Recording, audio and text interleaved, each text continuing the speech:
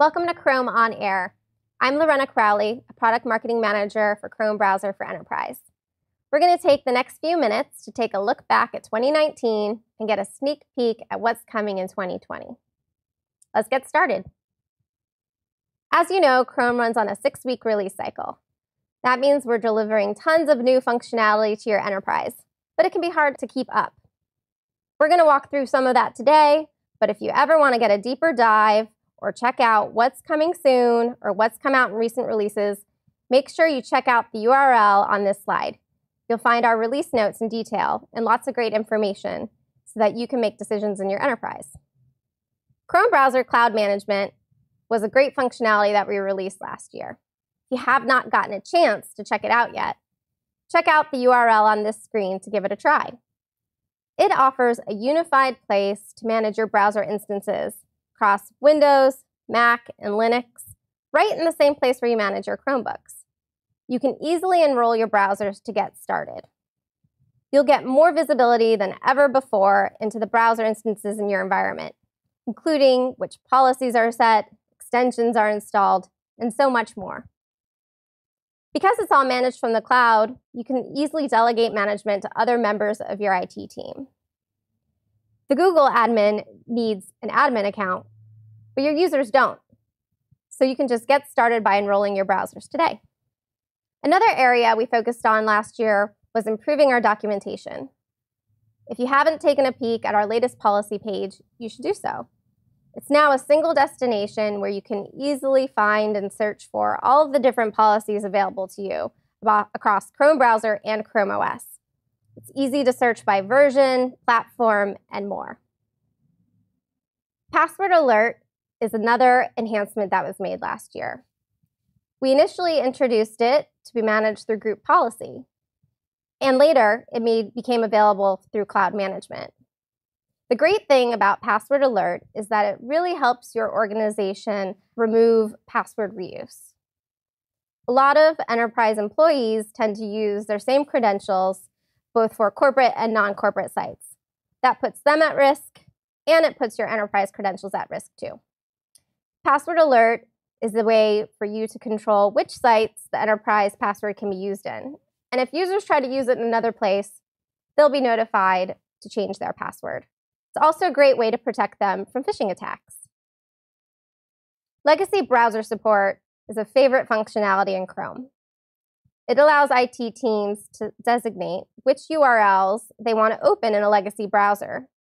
This is great for those legacy web apps that some of your users still rely on. However, you can make sure they're spending most of their time in a more secure modern browser.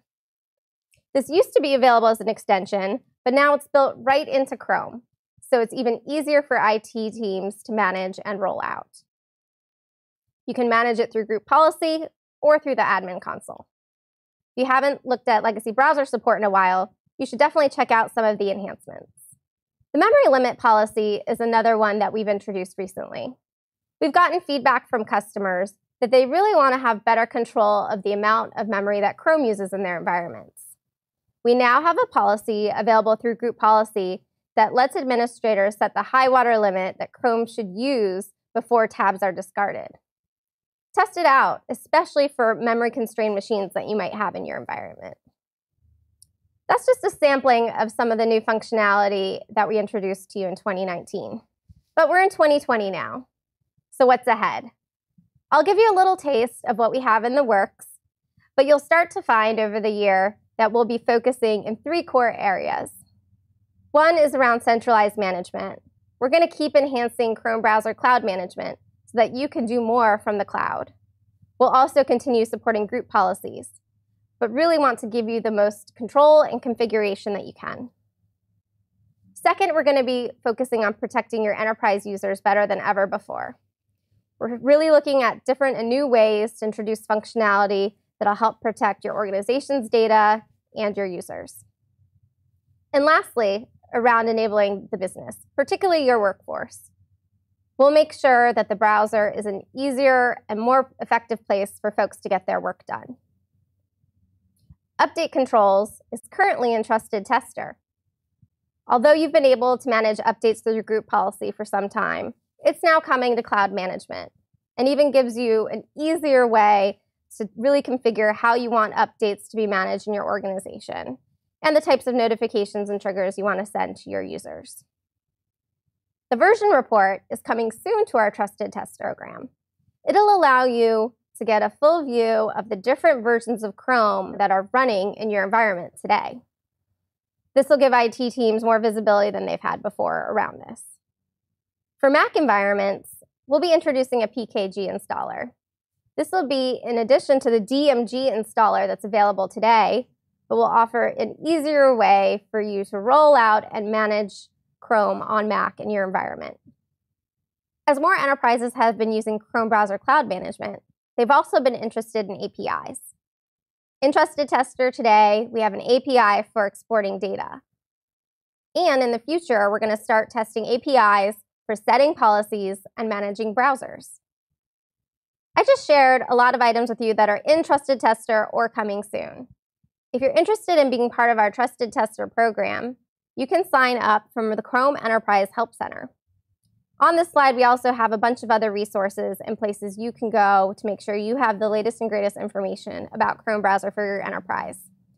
Chrome.com slash enterprise is a great destination for you to get all the downloads and tools that you need to manage Chrome in your enterprise environment.